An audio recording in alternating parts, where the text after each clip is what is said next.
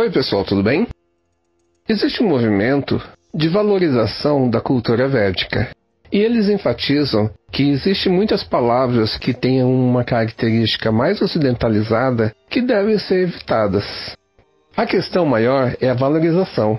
Quando uma pessoa respeita a si próprio, o resto das pessoas podem respeitá-la também. Então, não vou falar que eu concordo ou que eu discordo. Eu vou citar algumas delas e depois você pode tirar suas próprias conclusões. Número 1. Um, pare de usar a palavra temente a Deus. Os hindus nunca temem a Deus, porque para nós Deus está em todo lugar e também somos partes integrantes de Deus. Deus não é uma entidade separada que você tem que temer Ele. Os Vedas falam que nós temos um relacionamento amoroso com Deus. Então, essa visão de temente a Deus é uma visão ocidental. 2. Não é bom que se use o termo descanse em paz quando alguém morre. Então é mais comum na cultura védica que se use Om Shanti, Sadgati, Vaikunta, Shivaloka, Praptiratsu ou alguma coisa assim como desejo que esta alma atinja moksha. O hinduísmo não tem um conceito que a alma ela tem que descansar. A alma ou diva ela, enquanto está nesse mundo, está sempre presa a seus atos de vida passada. O que se deseja é que ela pare de nascer e morrer, que ela alcance a vida eterna que está além desse mundo material. 3.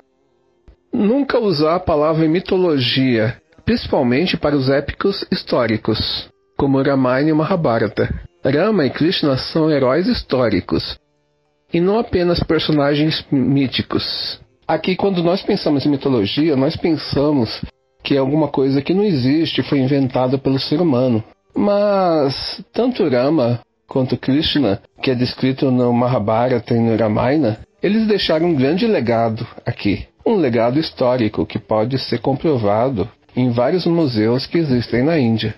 Em termos universitários, nós usamos a palavra mitologia, mas não é uma palavra correta. Número 4. Não se referir a Ganesha e Hanuman como deus elefante e deus macaco. Existem muitos seres no universo que têm corpos diferentes do nosso. Um exemplo disso, Hanuman, ele é um Kimpurusha.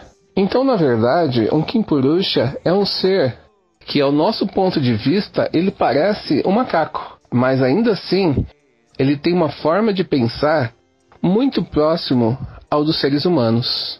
5. Não se referir a um templo como área de oração. Os templos são chamados morada de Deus e não salas de oração. Um templo, assim como seu corpo, é onde Deus está situado. É lógico que a gente vai num templo para orar. Ainda assim, o templo é onde Deus mora. Então, naturalmente, uma pessoa vai lá para conversar com ele e pedir sua bênção. Oração às vezes tem o um sentido de você pedir alguma coisa material. Ah, eu estou com problema na escola. Ah, estou com problema no amor. Estou com problemas financeiros. É lógico, se tem que pedir, é melhor pedir para ele. Mas a ideia não fica com a consciência de ficar pedindo, pedindo. 6. Relativa a aniversário.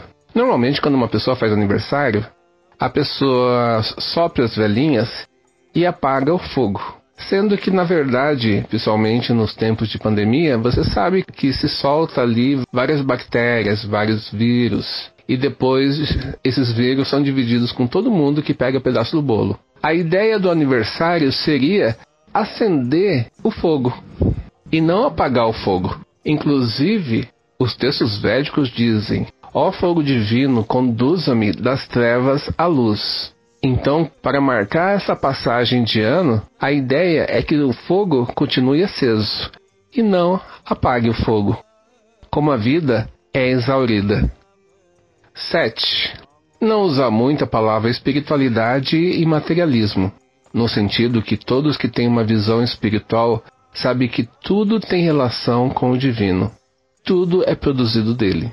Normalmente, nós ocidentais temos uma visão maniqueísta, onde sempre existiu o bem e o mal, onde existe a ciência, que é contra a religião, a igreja é contra o Estado. Sempre questão de oposição. A ideia, na verdade, é entender que o Sanatana Dharma é uma ciência que você ocupa as atividades materiais com espiritualidade.